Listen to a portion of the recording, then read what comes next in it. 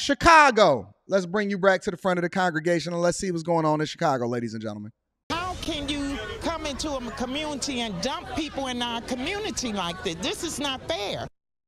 The city's pressing migrant crisis in the spotlight now more than ever, and Southside residents are fired up over plans to put up tents. Thanks for joining us tonight. I'm Scott Schneider. And I'm Don Hasbrook. Tonight, a meeting on the issue was filled to capacity, and many community members are frustrated that they were not let in. Casey Crona is live in Roseland with the latest. Casey. Dawn and Scott community members want to make their voices heard on this subject, and tonight many weren't able to. On the table is a proposal from Mayor Brandon Johnson that would place hundreds of migrants in makeshift camps in a former Jewel parking lot. So now what Chicago is doing is building a tent city. Mayor Brandon Johnson is allocating his time, his resources, and his energy. His time, his resources, and his energy to allocate monies to build a tent city. And Chicago is one of the coldest places on earth in the wintertime. If y'all ever been to Chicago and letting that water, it's the reason why they call it the Windy City. Chicago, Mayor Brandon Johnson has a proposed plan on the table and residents are loudly voicing their opinion and they saying, listen, we don't want this. This is not why we elected you. You did not advocate for this. This is not what you said when you were on the campaign trail. This is not what you were doing when you were running against Lori Lightfoot. Question for all of my Chicagoans Is Brandon Johnson in his early tenure as mayor of Chicago largely in your mind considered to be worse than Lori Lightfoot or not? Because that's a large task to be worse than Lori Lightfoot. People, is Brandon Johnson the spawn of Lori Lightfoot? They're alloc- listen, Chicago and New York is basically doing the same thing. They taking all of y'all monies and y'all resources. They're continuing to be a sanctuary city and they're allocating those resources to house, feed, clothe, give health care coverage, educate. And they're building a tent city. And the people of Chicago are saying, we don't want this. We don't want this. This is not what we're doing. We don't want them sleeping in the precincts. We don't want our, our cops over here allocating all of their times and their resources over to over to trying to police and house and and and navigate through this whole migrant crisis. What is happening in Chicago? What is happening in Chicago? I don't understand it. At Sheldon Heights Church of Christ, an open dialogue on the migrant crisis hosted by Alderman Ronnie Mosley was packed inside and out. First of all, they definitely chose this venue for a reason. They chose a small venue so that they could discourage the community from being able not the white people deciding to come over to the black. Now you know it's an issue when white people decide to come over to the black church, and white people don't call it out. Listen, you know that they decided to have it at this smaller venue because they don't want multiple people in there, and they don't want it to be a riot even though Mayor Brandon Johnson just called all of these young, these young people going over and taking over the streets, large gatherings, they don't want us to have a large gathering over at the black church. And so this is what they're doing. They're very strategic about it. I know I'm familiar with it because we executed on the same strategy XB31 ABCDEFG over in 2018. When the white people come over to the black church in the hood, you know it's a problem. When they come over to the black Episcopal polished church or the church of God in Christ, touch a neighbor and say, I'm here two times, church, you know it's a problem when they, they look look at her. She concerned. She put on her Sunday's best. She got on her beaded stuff. She got on her good glasses. She curled her hair and she put on her sweater and she said, Listen, this is a problem that we can come together on. And I'm coming over to the church of the God of the Jesus living, drink the blood twice, Catholic Episcopal Baptist Church. Mayor Brandon Johnson, you in trouble, trouble. They don't like you. They don't like what you got going on. Well, y'all voted for this, so this is what you get. To show up. With fall and winter fast approaching, Mayor Brandon Johnson Look is looking to move migrants from police Look stations into what the city is calling winterized base camps. This is essentially like a band aid to a gunshot wound. You are putting a band aid on a huge problem at hand. One potential site, the former Jewel parking lot at 115th and Halsted. Uh, I think that's a bad idea.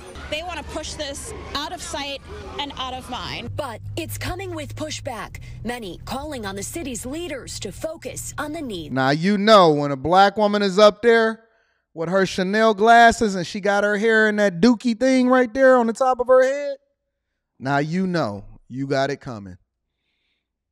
When she- when black women got on her bamboo earrings, at least two pair, got that dookie thing on the top of their head, and they start talking, they talk. You know that it's a problem. When, when, when white women and black women come together, that's how we got to change in, in society, how we got right now. That's what gave us feminism.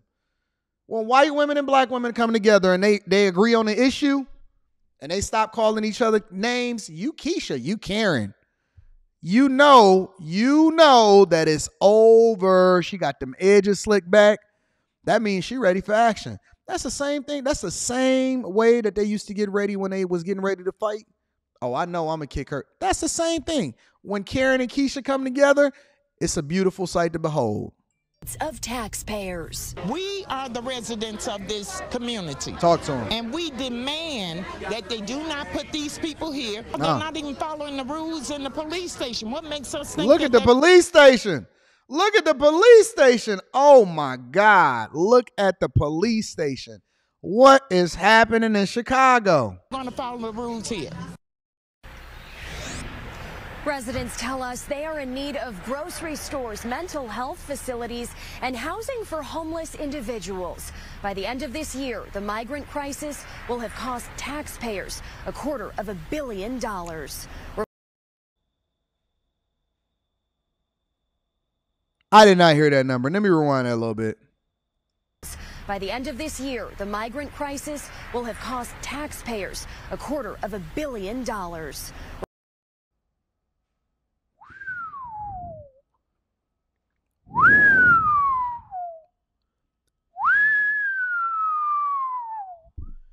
Whoa. Whoa. You did not just say that it's going to cost LeBron James money. No, no, no, no, no, no, no, no, no, no, no, no, no, no, no. No way is it going to cost you a quarter of a billion dollars. And you guys are going over there and standing in Washington, D.C. and petitioning Biden and you begging and you screaming and you pleading and you on your knees.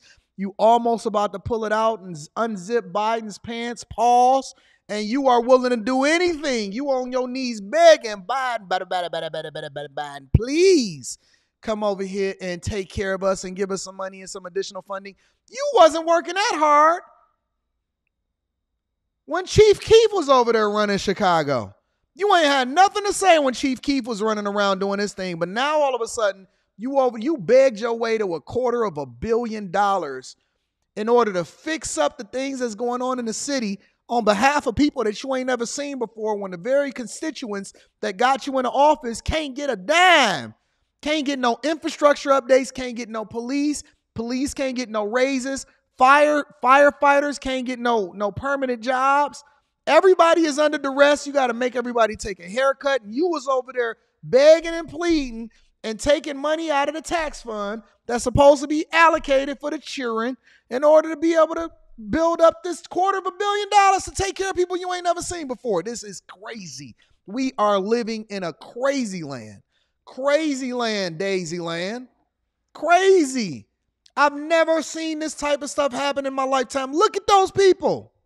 All right, shifting gears now to an incredibly serious topic. The headlines haven't changed. Helpless migrants are flooding border entry points with no end in sight. Open arms sanctuary cities such as New York are suddenly having a change of heart. That vacancy light is starting to go dark. Chicago is now in the spotlight. The city has 16 open shelters with more than 13,000 migrants, more arriving each day. And and the spigot continues to be turned on. I'm gonna be reading that super chat shortly. Thank you, my friend.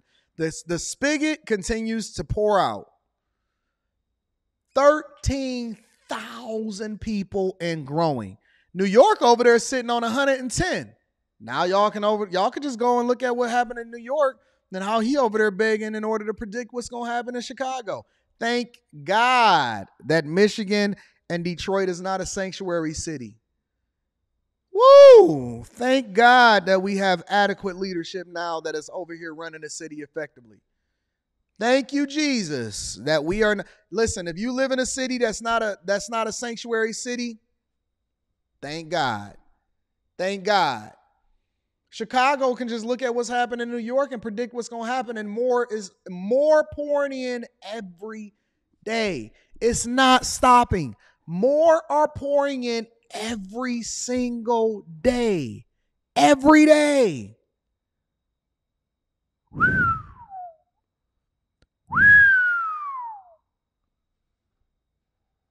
16 shelters, 13.5 thousand migrants, costing the city $30 million every single month.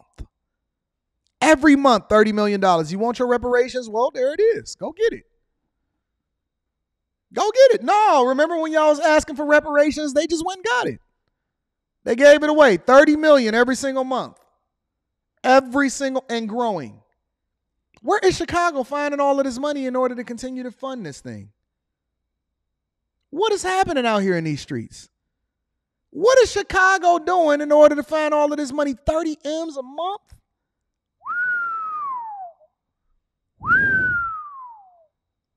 It's estimated that the crisis is costing the city $30 million per month. And hmm. now Chicago's Mayor Brandon Johnson has come up with what he thinks is a novel idea. He's asked all 50 of the city's council members to identify a two acre space in their ward to build tent cities to house the migrants. The mayor says that these tents will be equipped with heating and cooling and beds and food and, and hall and water hookups to house around 200 migrants each. But you do remember that we're talking about Chicago, right? So summer is almost over. Fall is in the air and winter isn't very far. Have you seen Chicago in the winter? The city sets a new record in 2019, minus 22 degrees Fahrenheit. And that's the mayor's plan to put migrants in tents in negative temperatures. I mean, what happens if someone gets hurt? Aldermen in Chicago are pushing back against the new mayor, saying that they don't have the space in their wards for these tent cities. And, and those tents would be used to, uh, for the homeless in all 50 wards if the migrant crisis subsides and that doesn't really leave them happy either. So Alderman Anthony Napolitano is from Chicago's 41st Ward, and he joins us here. Sir, thank you so much for joining us. You know, I, I read a little bit about you. I think it's safe to say that you know, Chicago, the state of Illinois has your heart and soul. You love everything about it. You're a dedicated public servant. What is the city like now? Well, thanks for having me. Yeah, I, I wear this this city on my sleeve. Um, you know, we're going through a lot of changes over the years, and you know, for the most part, the city is, is beat up. Uh, the, the paid for um, riots and looting that happened years ago, we're still building back from that. Now we have this border crisis, or I should say it's more of like a border abandonment because the government has abandoned the border, letting all these votes come in. That's what they're hoping for, I'm assuming. But the, our biggest issue here is aldermen like me, I voted against being a sanctuary city. Now I'm being told that we have to find uh, uh, lots or areas to put tents um, so these illegal immigrants could come and, and sleep in and stay. When the city has hundreds, if not thousands, of vacant buildings around the city that they can use to uh, put these illegal immigrants in until they find their final destination. Like it is, it's costing us up to a, a tune of, of $30 million a month to pay for this. And a lot of this money is going to not for profit organizations. And we're trying to track where this money is going because clearly you can see our police districts are, are flooded with with the uh, the immigrants, and it's just not a good idea. That's crazy. Are y'all seeing this? Oh man. This is what happens when y'all elect people based off of their personality or how you feel about them or they in a good space and so I like him. He got a spiked haircut and so now all of a sudden, you know, you with him. No, no, no, no, no, no, no, no, no. Y'all wanted him. Please don't advocate for him to leave. You elected him. You wanted him to be there for the duration of the term.